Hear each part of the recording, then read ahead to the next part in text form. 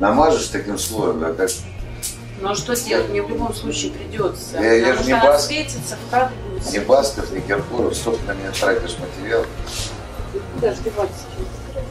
Мы решили сделать чуть старше этого Гамаюна моего, э, ему лет 40. Ну вот.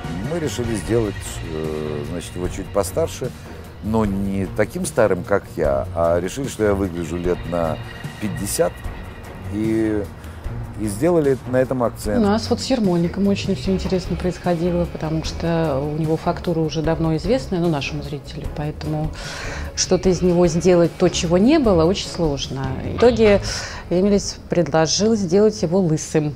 Но я говорю, вообще не вопрос, если тебе хочется, пожалуйста, мне это абсолютно все равно. Я могу побриться. Вот меня перед каждой съемкой бреют наголо.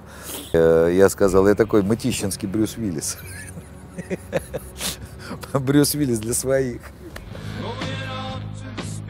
О, привет. Ты меня испугал. Я не ожидал. Я тоже. Мой грим и моя прическа – это единственное, что у меня есть в жизни. Меня даже не гримируют. У меня есть только золотые зубы, которые я вставляю, когда выхожу на крупный план.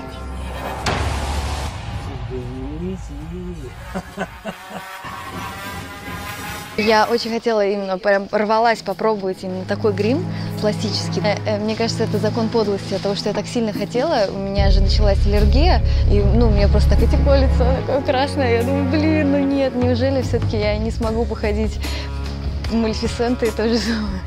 Так что, если я снимаюсь в боевой готовности, а, а мы такие вампиры только в боевой готовности, то мне надевают клыки, линзы вот на, всю, на весь глаз и рисуют просто гримом, тенями вырисовывают вот эти все а, линии. На одного персонажа у нас вместе с прической и с костюмом уходит около двух часов. В течение двух часов мне накладывают именно пластический грим. Ну, наверное, часа три, получается, в общем, с волосами.